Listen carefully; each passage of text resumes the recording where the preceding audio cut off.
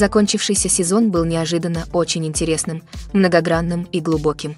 И это была заслуга всех членов команды, вложивших свои силы в этот сериал.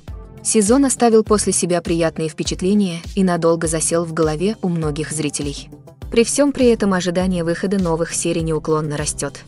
Немалое количество зрителей сериала задаются вопросом, а когда же будет продолжение и будет ли оно вообще? Пока что нет ни одного официального заявления от создателей. Это значит, что нам придется подождать еще какое-то время, пока создатели не представят нам анонс долгожданного нового сезона. Подробностей о продолжении очень мало. Достоверных дат сейчас и вовсе нет. Как бы ситуация ни складывалась дальше, нам остается только ждать и следить за поступающей информацией. Оставайтесь с нами, чтобы всегда быть в курсе свежих новостей из мира кино.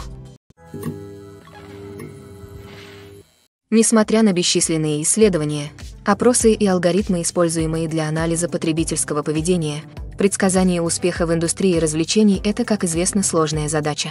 Но есть и хорошие новости – мы можем делать обоснованные предположения, основываясь на определенных факторах, которые исторически были связаны с успехом.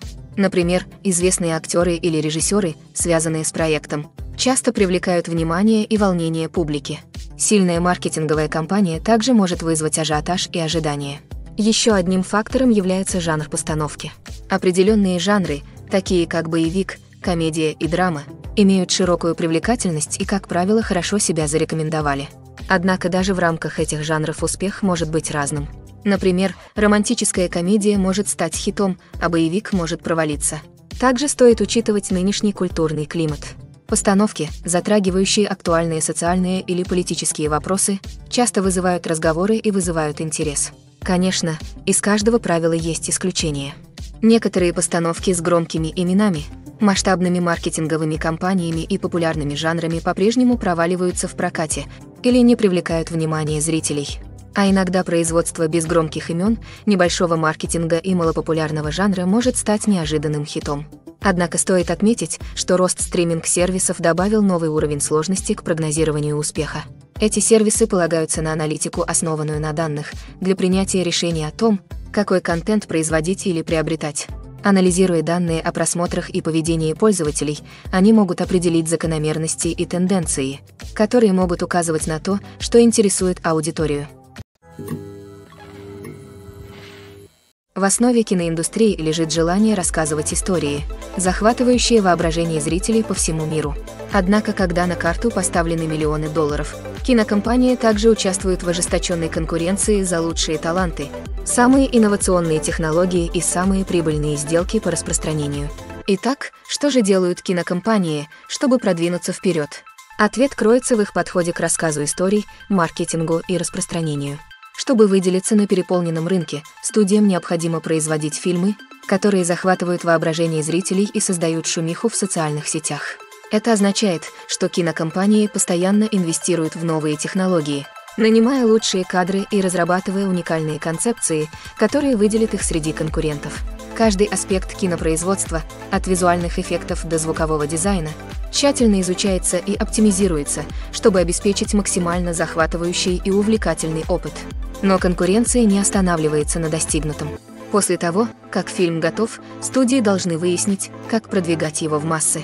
Это означает создание привлекательных трейлеров, проведение рекламных кампаний в социальных сетях и даже сотрудничество с брендами для продвижения их фильмов.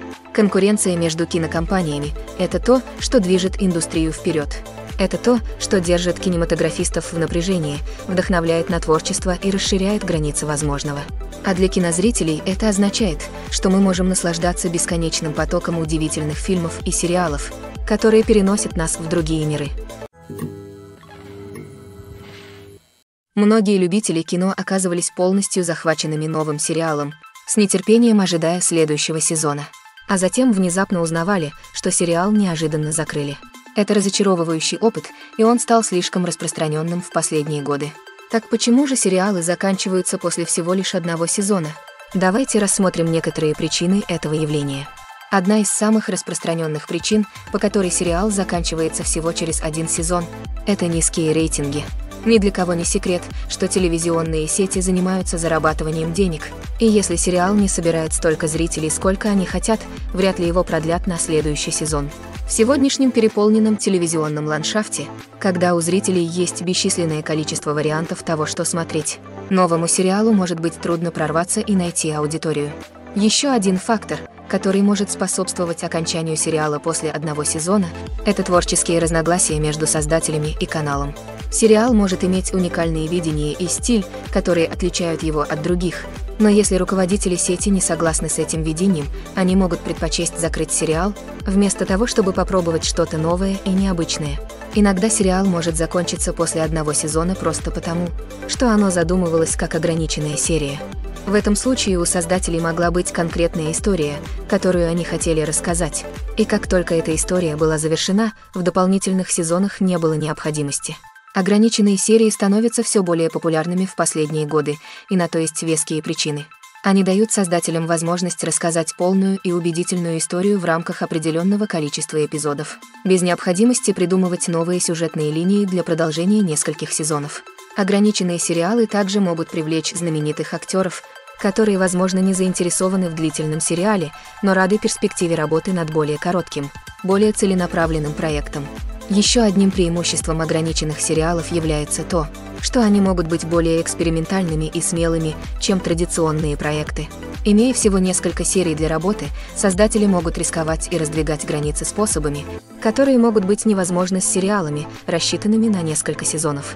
Ограниченные сериалы могут затрагивать сложную тему и могут быть более амбициозными в визуальном, а также повествовательном плане, чем другие сериалы. Процесс создания сериала или фильма невероятно сложен и включает в себя множество различных этапов, каждый из которых требует времени и опыта. Во-первых, давайте поговорим о сериалах. Время, необходимое для создания сериалов, может варьироваться в зависимости от множества факторов. Некоторые из них выпускаются еженедельно, а новые серии выходят в эфир каждую неделю в течение сезона. Другие сериалы могут быть созданы все сразу, а затем выпущены целиком на потоковой платформе, такой как Netflix или Amazon Prime Video. Для еженедельных сериалов процесс обычно начинается за несколько месяцев до выхода в эфир первого эпизода. Сценаристы начинают с разработки концепции и написания сценария пилотного эпизода. Как только пилот получит зеленый свет, сценаристы приступят к работе над остальными эпизодами сезона. Это может занять несколько месяцев, так как каждый эпизод должен быть тщательно проработан и доработан, чтобы гарантировать, что он вписывается в общую сюжетную линию сезона. После того, как сценарии будут готовы, съемочная группа приступит к подбору актеров, поиску локаций и разработке декораций и костюмов. Это может занять еще несколько месяцев, так как каждый аспект должен быть тщательно спланирован и реализован. Время, необходимое для создания фильма, зависит от нескольких факторов, включая жанр, бюджет, сценарий, съемочную группу и видение режиссера. Однако в среднем на создание фильма от замысла до релиза уходит около 2-3 лет. Первым шагом в создании фильма является процесс написания сценария. Этот процесс может занять от нескольких недель до нескольких лет, в зависимости от сложности истории и количества необходимых исправлений. После того, как сценарий готов, следующим шагом является подготовка к съемкам, когда нанимается съемочная группа, определяются локации и определяется бюджет. Фактически съемочный процесс может занять от нескольких недель до нескольких месяцев, в зависимости от размера и сложности производства.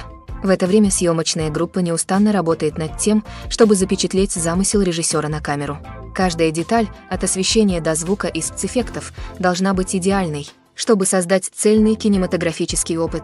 После завершения съемок начинается процесс постпродакшна. Это включает в себя монтаж, звуковой дизайн и визуальные эффекты.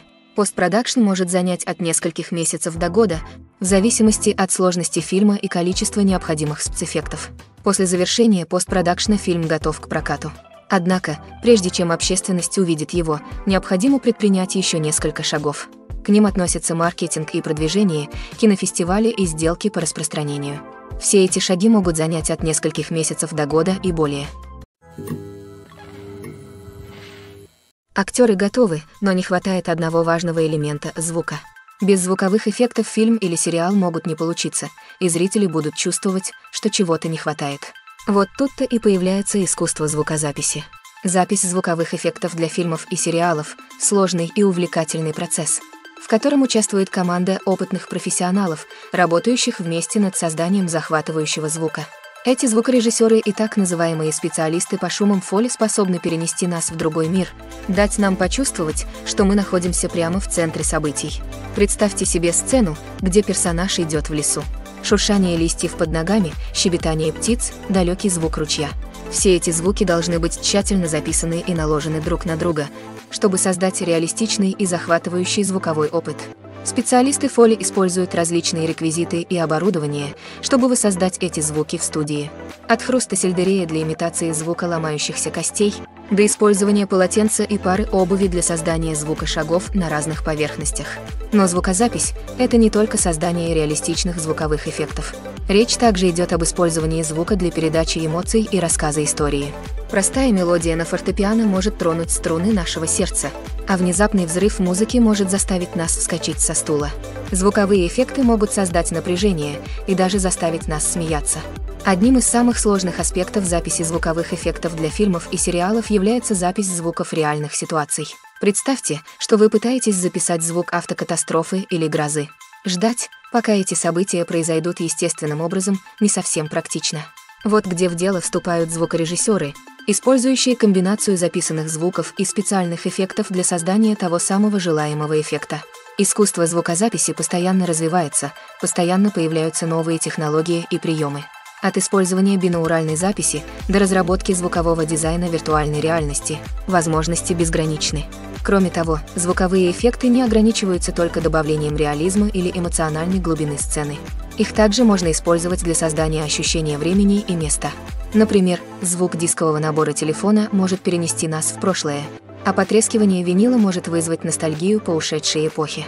Но несмотря на эти достижения, для записи звуковых эффектов для фильмов и сериалов по-прежнему требуются значительные навыки и мастерство. Требуются годы практики и опыта, чтобы овладеть искусством фоли, понять физику звука и узнать, какие микрофоны и методы записи использовать в различных ситуациях. Важность маркетинга для фильмов и сериалов невозможно переоценить.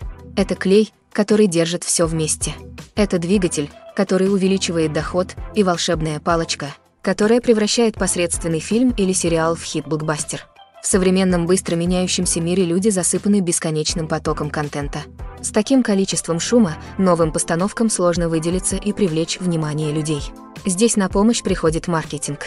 Сила хорошо проведенной маркетинговой кампании может создать или сломать успех сериала или фильма. Многие готовы посмотреть фильм только из-за хорошего трейлера. Вы когда-нибудь были настолько заинтригованы рекламным плакатом, что не могли устоять перед просмотром фильма? Это магия маркетинга. Создавая предвкушение, маркетинг может создать ощущение срочности, заставляя людей чувствовать, что они не могут пропустить последний хит. Как будто тебя пригласили на самую крутую вечеринку в городе показывая фрагменты информации и давая зрителям представление о том, что будет дальше. Маркетинговые компании могут создать предвкушение и заставить людей говорить о продукте еще до того, как он появится на экранах. Маркетинг также играет решающую роль в распространении контента. Без него фильм или сериал никогда не попадут в ваш местный кинотеатр. Именно маркетинговые компании убеждают дистрибьюторов рискнуть в проекте и инвестировать необходимые ресурсы, чтобы представить его аудитории. Еще одним ключевым аспектом маркетинга сериала и фильмов является продажа товаров, связанных с проектом. От фигурок до футболок фанаты любят демонстрировать свою любовь к своим любимым персонажам и франшизам. Товары могут быть значительным источником дохода для студий и авторов. Фактически, некоторые франшизы, такие как Star Wars и Гарри Поттер, приносят больше дохода от продажи товаров, чем от продажи билетов. Маркетинг играет решающую роль в реализации товаров. Создавая сильный бренд и завоевывая лояльных поклонников, студии и создатели могут сформировать спрос на товары, которые фанаты будут активно покупать. Фильмы и сериалы всегда были мощным средством повествования и развлечения. Но помимо своей основной цели, они также могут влиять на поведение, мнение и образ жизни зрителей в разных частях мира. От формирования политических взглядов до установления модных тенденций – Кино могут влиять на нашу жизнь множеством способов. Одним из наиболее важных способов влияния фильмов и сериалов на зрителей является создание культурных икон и героев. Эти персонажи становятся образцами для подражания для зрителей, формируя их ценности и отношения к различным аспектам жизни. Еще один способ, которым кино влияет на зрителей, это формирование их восприятия мира. Программы новостей и текущих событий могут влиять на общественное мнение по различным вопросам, от политических идеологий до социальных движений. Точно так же вымышленные фильмы и сериалы могут создавать стереотипы и предрассудки, которые могут влиять на то, как зрители воспринимают разные культуры и расы. Влияние культурных икон и героев выходит за рамки развлечения и может иметь последствия в реальном мире. Например, представление различных культур, рас и полов на экране может влиять на отношение общества к этим группам. Позитивное представление может бросить вызов стереотипам и способствовать сочувствию, в то время как отрицательное может увековечить вредные предубеждения и дискриминацию. Кроме того, культурные иконы и герои также могут влиять на поведение потребителей, особенно в индустрии моды и красоты. Например, популярность определенной прически, предмета одежды или макияжа на экране может привести к увеличению продаж этих продуктов. Точно так же изображение определенных образов жизни и ценностей на экране может повлиять на потребительский выбор, например, на решение вести вегетарианский или веганский образ жизни. Вы когда-нибудь задумывались, откуда берутся деньги, чтобы воплощать в жизнь ваши любимые сериалы и фильмы? Этот вопрос озадачил многих, и ответ на него одновременно завораживает и удивляет. Во-первых, важно понимать, что создание сериала или фильма – это немалый подвиг. Это требует много времени, сил и, конечно же, денег. Итак, откуда берутся эти деньги? Одним из источников являются сами студии. Многие студии имеют финансовую поддержку для финансирования собственного производства. Они могут позволить себе инвестировать миллионы долларов в один проект и надеются получить отдачу от своих инвестиций в виде кассовых сборов или доходов от онлайн-кинотеатров. Другой источник – независимые финансисты. Это богатые люди или компании, которые инвестируют в фильмы или сериалы в надежде получить прибыль. Они часто питают страсть к искусству и готовы рискнуть в проекте, в который верят. Многие из них финансируются продюсерскими компаниями, которые затем продают права сетям и стриминг-платформам. Это может включать в себя сложную сеть переговоров и сделок. Например, производственная компания может обратиться к каналам с пилотным эпизодом, надеясь получить финансирование для полного сериала. Если канал заинтересован, они могут предложить лицензионную плату или согласиться на совместное финансирование проекта. В качестве альтернативы некоторые сериалы полностью финансируются потоковой платформой, такой как Netflix или Amazon Prime, которые затем сохраняют права на сериалы. Еще один способ, с помощью которого кинематографисты могут финансировать свои проекты, это кинофестивали. Многие фестивали предлагают возможности финансирования или контакты с потенциальными инвесторами для фильмов-победителей. Кроме того, фильм, получивший положительные отзывы на фестивале, может вызвать интерес у дистрибьюторов, которые, возможно, захотят профинансировать более широкий прокат. Конечно, некоторые из крупнейших проектов на телевидении и в кино финансируются крупными студиями с большими карманами. Эти студии имеют доступ к огромным суммам денег – и могут позволить взять на себя финансовый риск производства высокобюджетных фильмов и сериалов. Однако даже студиям приходится тщательно обдумывать, какие проекты они выбирают для финансирования, поскольку нет никаких гарантий возврата их инвестиций. Фильмы и сериалы способны перенести нас в волшебный мир любви и романтики, где все кажется идеальным и все живут долго и счастливо. Мы наблюдаем, как главные герои встречаются и влюбляются, преодолевая все препятствия, чтобы быть вместе. Мы болеем за них, плачем вместе с ними и смеемся вместе с ними. Правда в том, что фильмы и сериалы часто искажают наше понимание любви и отношений. Они создают нереалистичный образ того, как должна выглядеть любовь и что нужно для того, чтобы отношения заработали.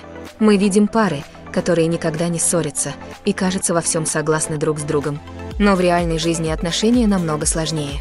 В фильмах и сериалах мы также видим идею о том, что любовь побеждает все. Что если два человека любят друг друга, все остальное не имеет значения. Но на самом деле одной любви недостаточно для поддержания отношений. Чтобы наладить отношения, требуется общение, компромисс и тяжелая работа. Мы редко видим эти элементы в фильмах. Еще одна проблема с тем, как любовь и отношения изображаются в фильмах и сериалах, заключается в том, что они часто продвигают идею того самого и единственного. Мысль о том, что для нас существует только один человек, и если мы его не найдем, мы никогда не будем по-настоящему счастливы. Это опасный миф, потому что он заставляет нас искать родственную душу и может привести к разочарованию и несчастью, если мы этого не сделаем. Кино также имеют тенденцию романтизировать нездоровое поведение в отношениях, такое как ревность и собственничество. Мы видим персонажей, которые чрезмерно ревнивы или властны и изображаются страстно влюбленными. Это посылает сигнал о том, что такое поведение является нормальным и приемлемым в отношениях, что далеко от истины. Еще один способ, которым любовь изображается в фильмах и сериалах, это всепоглощающая страсть, которая захватывает жизнь персонажей. Мы видим персонажей, которые ради любви готовы пойти на все, в том числе пожертвовать собственным благополучием или нарушить закон. Хотя это может создать захватывающую сюжетную линию, это нездоровый подход к отношениям. Любовь в фильмах и сериалах часто изображается как магическая сила, способная преодолеть все препятствия и свести двух людей в идеальном романе. Мы видим истории любви, которые охватывают поколения, которые запрещены обществом или культурой и которые преодолевают невероятные трудности. Во многих романтических фильмах мы видим шаблонную сюжетную линию, в которой два главных героя встречаются и влюбляются, сталкиваются с конфликтом или проблемой, которая угрожает их отношениям, а затем в конечном итоге находят способ быть вместе. Эту сюжетную линию приятно смотреть, потому что она дает нам надежду на то, что настоящая любовь может победить все. Однако важно признать, что истории любви, которые мы видим на экране, часто являются преувеличенными или идеализированными версиями реальных отношений. В реальной жизни отношения включают в себя гораздо больше, чем просто любовь. Они требуют доверия, общения и компромисса, и они часто запутаны и сложны. В то время как актеры и актрисы могут быть в центре внимания, именно режиссеры являются истинным костяком любого фильма. Именно они вдыхают жизнь в сценарий и превращают его в визуальный шедевр, завораживающий зрителей. Однако это непростая задача – Режиссеры сталкиваются с многочисленными проблемами, которые могут разрушить их фильм. Одна из самых больших проблем, с которыми сталкиваются режиссеры – управление логистикой съемок. Это включает в себя координацию с многочисленными отделами, такими как съемочная группа, отдел звука, команда освещения и многое другое. Обеспечение того, чтобы все оборудование было на месте и функционировало оптимально, является сложной задачей, требующей огромного внимания к деталям – Любой технический сбой может привести к задержке съемок, что приведет к перерасходу бюджета и общей потере времени и ресурсов. Еще одна проблема, с которой сталкиваются режиссеры, это управление актерами. Несмотря на то, что актеры являются профессионалами, они могут быть темпераментными и непредсказуемыми. Некоторые актеры могут не появиться вовремя или быть не в том настроении, чтобы произносить свои реплики. В таких ситуациях режиссеры должны быть терпеливыми и дипломатичными, используя свои навыки работы с людьми, чтобы мотивировать актеров и вернуть их в нужное русло. Еще одна проблема, с которой сталкиваются режиссеры – управление бюджетом. Кинопроизводство – дорогое удовольствие, режиссеры должны следить за тем, чтобы они не выходили за рамки бюджета и в то же время создавать высококачественный фильм. Это требует тщательного планирования и составления бюджета, пристального внимания к расходам и готовности принимать трудные решения, когда это необходимо. Когда мы думаем о кинорежиссерах, мы часто представляем себе, как они удобно сидят в своих режиссерских креслах, выкрикивая приказы своим актерам и съемочной группе, воплощая в жизнь свое кинематографическое видение. Но о чем мы не часто задумываемся, так это об огромном давлении и стрессе, которые сопровождают работу режиссера. Долгие часы работы, сжатые сроки, постоянное решение проблем и попытка сохранить творческое видение могут серьезно сказаться даже на самых опытных режиссерах. А когда что-то идет не по плану, разочарование и досада могут быстро перерасти в агрессию. Они могут огрызаться на своих актеров и съемочную группу, набрасываться или даже бросать предметы в приступе ярости. Режиссеры нередко бывают настолько поглощены своим видением, что теряют из виду более широкую картину, а их поведение может стать неустойчивым и непредсказуемым. Когда мы смотрим фильм или сериал, мы переносимся в другой мир, разворачивающийся перед нами – но задумывались ли вы когда-нибудь, сколько дублей нужно, чтобы сделать сцену идеальной? Ответ может вас удивить. Создание фильма – сложный процесс, в котором участвует команда профессионалов, работающих вместе, чтобы воплотить историю в жизнь. Все, от режиссера до актеров и съемочной группы, играют жизненно важную роль в обеспечении идеального качества каждого кадра. А иногда это означает делать несколько дублей. Количество дублей, необходимых для сцены, может варьироваться в зависимости от множества факторов. Например, если сцена включает сложную хореографию или трюки, может потребоваться больше дублей. Чтобы убедиться, что все в безопасности, а действие выглядит реалистично. Точно так же, если сцена требует от актеров большой эмоциональной глубины, Им может потребоваться сделать несколько дублей, чтобы попасть в правильное пространство и показать игру, которую ищет режиссер.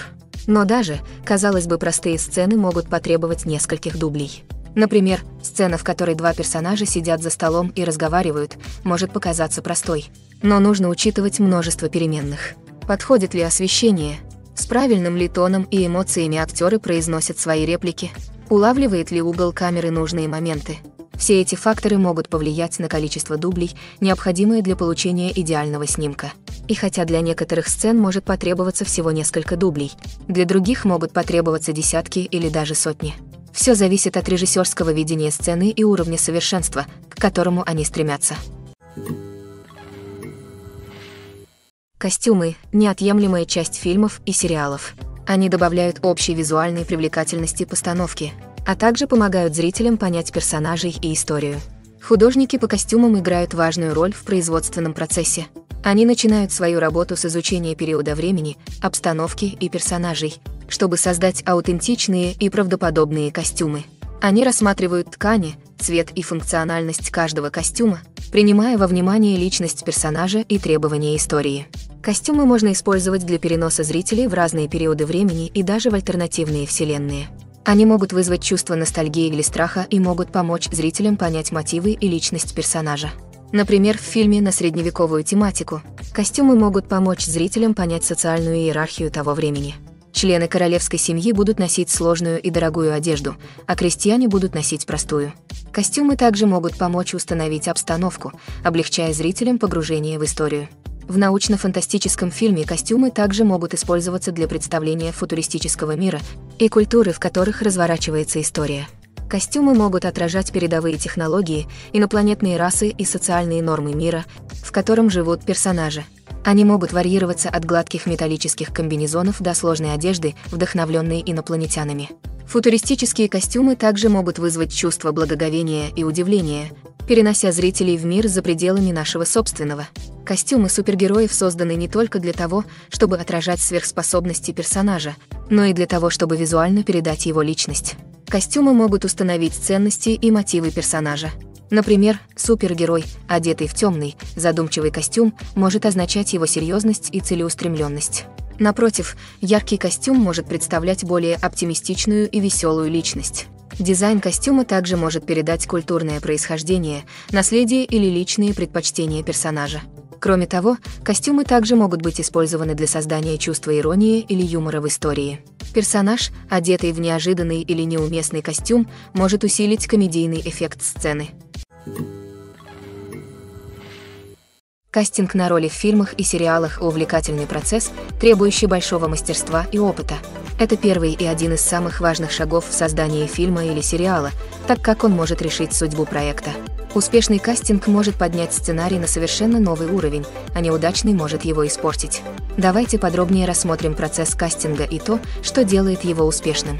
Первым шагом в кастинге является определение ролей и характеристик персонажей.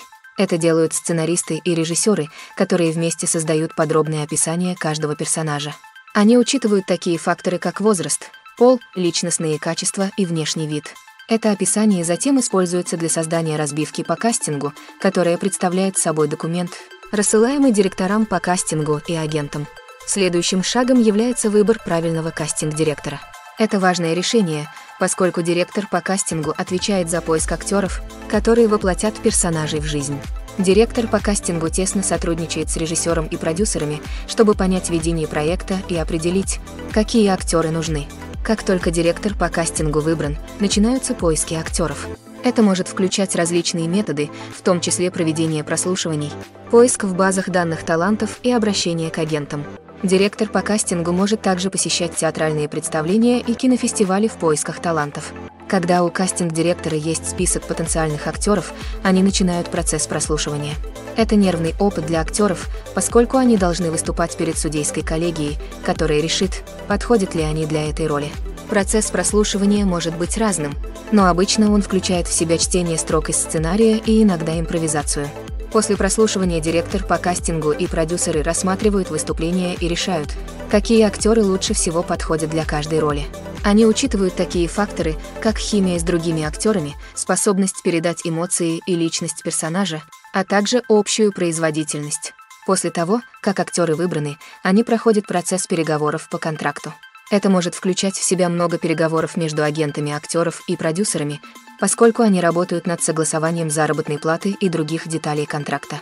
Когда все согласовано, актеры подписывают контракты, и проект продвигается вперед. Фильмы уже более века являются важной частью нашей культуры, развлекая и перенося нас в другие миры и времена. Однако многие утверждают, что раньше фильмы были лучше, и с этим трудно не согласиться. В классических фильмах есть определенный шарм и волшебство, которых, кажется, не хватает современным фильмам. Одна из причин такого настроения заключается в том, что фильмы из прошлого были более глубокими и содержательными. Кинематографисты раньше уделяли больше внимания повествованию, персонажам и темам, которые находили отклик у зрителей. Они не полагались исключительно на яркие спецэффекты или именитых актеров при продаже билетов. Вместо этого они создали захватывающее повествование, которое очаровало зрителей и оставило неизгладимые впечатления. Другая причина в том, что в то время киноиндустрия была менее коммерциализирована. Студии пошли на риск и предоставили режиссерам и сценаристам больше творческой свободы, в результате чего появилось множество разнообразных фильмов с уникальными перспективами и стилями. В настоящее время кажется, что все шаблонно.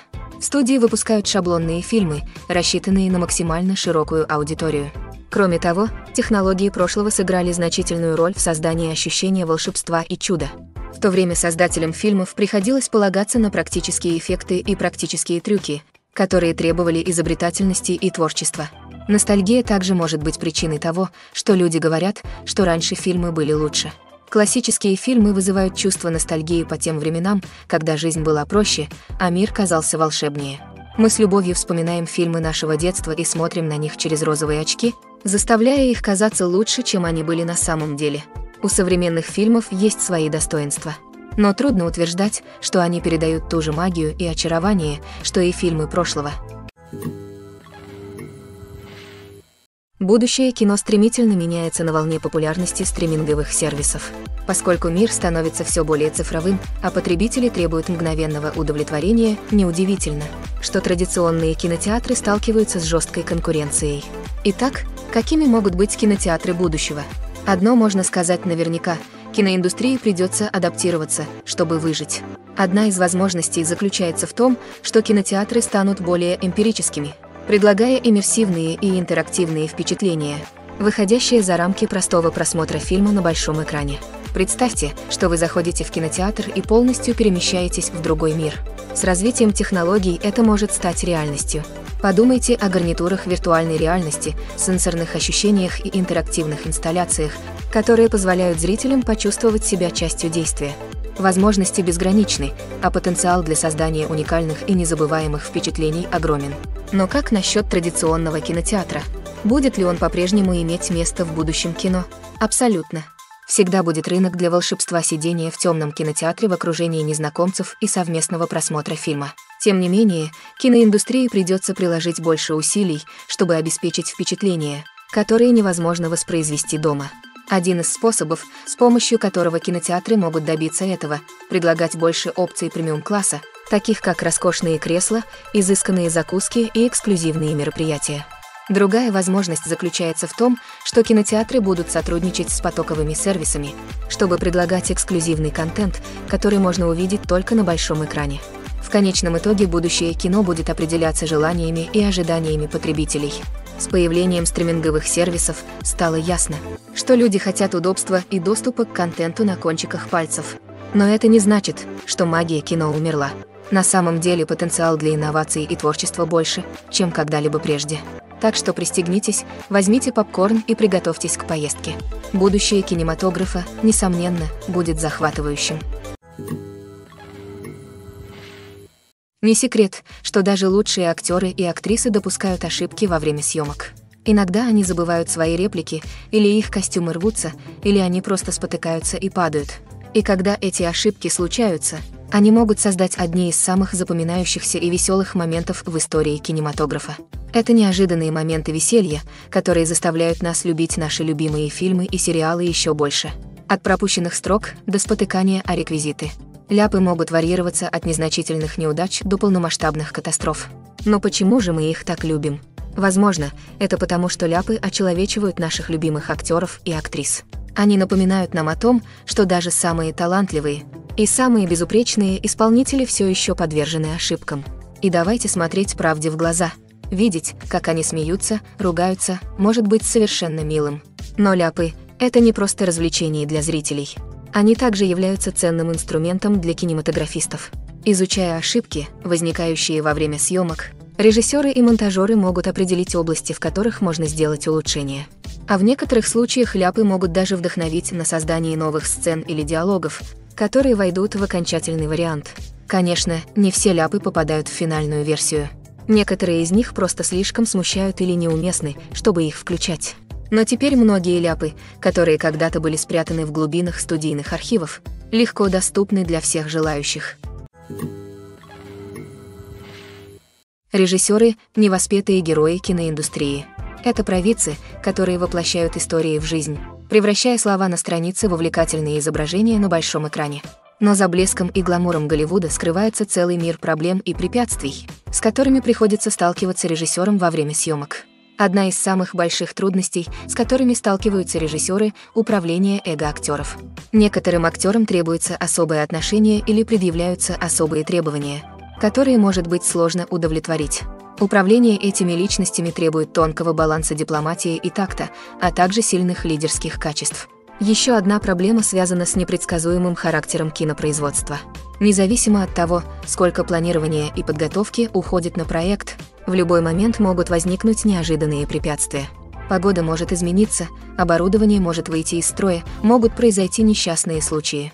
Режиссеры должны уметь думать на ходу и придумывать творческие решения, чтобы производство продвигалось вперед.